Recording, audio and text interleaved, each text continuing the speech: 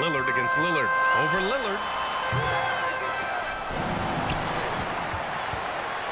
Second chance effort. And his first miss of the night. Now two of three.